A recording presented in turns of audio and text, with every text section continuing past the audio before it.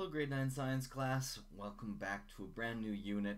This is the electricity unit uh, and this is lesson 1. So lesson 1 is going to focus on static electricity and lesson 2 is going to be about some applications for it.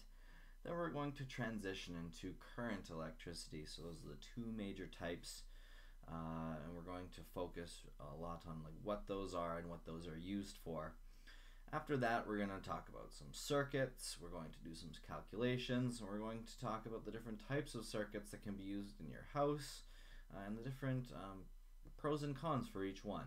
So this is a very practical unit. Um, if you want to be an electrician or a, a house builder, or a carpenter, um, these topics are really important to know. So this is just a start for that. So static electricity is lesson one. You'll notice all of these lesson titles have this color on them. So if you're seeing a video with a different color uh, when you're supposed to be in the electricity unit, um, check that out and come to this one instead. You see we got key points. Key point one is electrons, which is familiar. Um, it should be from the chemistry unit. So let's talk about it. Little review. Uh, we know that all matter, all the stuff, in the world is made up of small particles called atoms. Uh, the center or the nucleus of an atom contains uh, neutrons and protons. So overall, the nucleus is a positively charged place. Um, yeah, the nucleus has a positive charge. Uh, electrons are negatively charged and they are outside the positive nucleus, spinning all around in different areas. Uh, electrons are small and can sometimes move between different orbitals. They can jump around from one level to another if you remember our Bohr diagram. Right here, electrons can sometimes move from this level to this level or to a higher level if it's available. Um, protons are larger and found in the nucleus and they do not move. So we have our picture of our atom, our Bohr diagram, which we should be familiar with. The nucleus is the yellow part in here and it contains the neutrons and protons, which are purple and red. And outside are the electrons. So the electrons are able to move around, hop back and forth, while the protons and neutrons are stable. They don't move, they stay where they are. Uh, again, the, nu the nucleus, the part that stays where it is, is positive, and the outside area, the part that can move around, is negative. So these uh, subatomic particles, protons and electrons, have charges, and these charges can be uh, scaled up to materials, to solid materials. So in a solid material, only ele the electrons are able to move. So this makes sense. Electrons are on the outside, they are the ones that are able to move around, while the protons and the neutrons are stable and immovable on the inside. Solid materials are charged with the transfer of electrons. So when electrons move from one part, one thing to another, one object to another, uh, those objects become charged.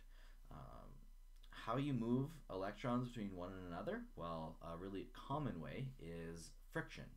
So friction between two objects can result in one object losing electrons and the other object gaining electrons. So if you are losing electrons, you're going to become positive because you're losing that negative part. And if you're gaining electrons, you're going to become negative. Again, we have our Bohr model here. And I just think looking at this picture, it makes sense why electrons are able to be moved or rubbed off uh, to another object and why protons are not. Protons are in the middle and stuck together with the uh, neutrons, very, very stable, uh, while the electrons are just kind of everywhere around the outside. They're very light and they are very easy to rub off. Uh, they move around a lot. So I just think this model um, is a very good description of why electrons can move around.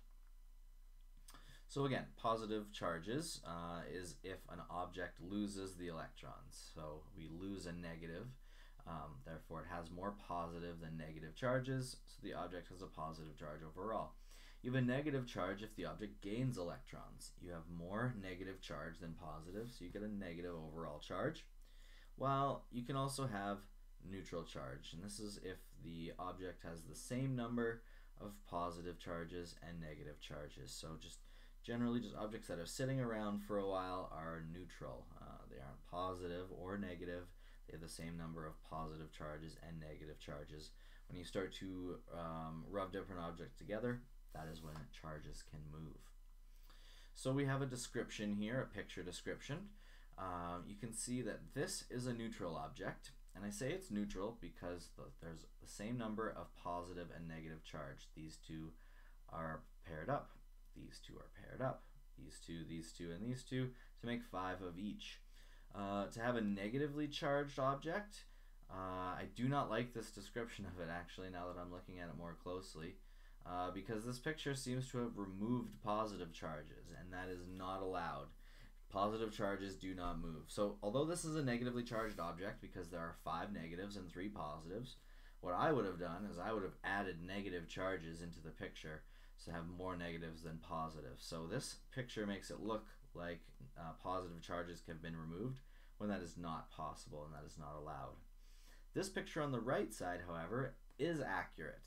Uh, we have three, uh, sorry, five positive charges and two negative for a total of plus three. However, this makes sense that the negative charges are removed because negative charges are the ones that can move around. So positive charges should have stayed the same throughout the uh, through three pictures, and the negative charges should have been added or removed to make these positive or negative. So that's my one critique of this picture now that I'm taking a very, very close look at it. Um, maybe that'd be a good question for you if I take if I if I show you this diagram on a quiz uh, or a test be and ask you like what is wrong with this picture. Uh, to me, it would be that positive charges are all of a sudden disappeared from that middle picture, which is definitely not allowed. So static electricity. Um, when these electrons move, that is static electricity. So uh, it refers to electric charges that can be collected and held in one place. So again, uh, the examples are often like rubbing two objects together. Uh, for example, when you rub a balloon on your hair, uh, it becomes kind of sticky, or your hair will stick to the balloon sometimes. Um, this is static electricity, or a static charge. Electrons have moved from one part to another, making your hair maybe positive and your the balloon negative, and then those two are attracted to one another, positives and negatives, which we'll get more into in the next lesson. This is called static because after the electrons are on the objects, they generally don't move. Here is a description of it in a picture and in words here. So we're going to use acetate and paper towel. Essentially, it's just two different materials. So acetate and paper towel are both neutral in the description A here. Uh, we have positives and negatives in the same amounts, and same with acetate, so they're neutral. What we're going to imagine is that we rub these two things together. So rub them together and the paper towel loses electrons. So you can see over here, electrons here, here, here, down here are missing.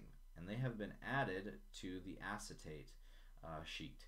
So the acetate gains electrons while the paper towel loses electrons. So the paper towel becomes positively charged, while the acetate becomes negatively charged. So the number of the charges that are drawn in the diagrams uh, doesn't necessarily indicate that there are that many electrons and that many protons. There's actually like millions or billions of them. Uh, it just shows like the kind of relative numbers that move. So some electrons will move onto the acetate. Uh, so again, if you gain electrons, you become negative, and if you uh, remove electrons, you become positive. We have two things for you to do. There is a little bit of research about static electricity, just wanting you to uh, find a definition, put a definition in your own words, and um, come up with a few examples of static electricity. And then there is an interesting activity. Uh, I'd like you to just follow through and answer the questions in the spaces provided. Uh, if you guys have any questions about static electricity or electricity in general as we get going here, please let me know. Uh, but I hope to see you in class very, very soon. Thanks so much.